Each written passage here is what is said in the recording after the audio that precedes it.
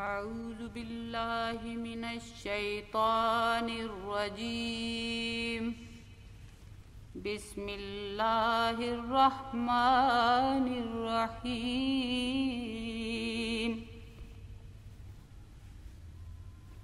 تبارك الذي نزل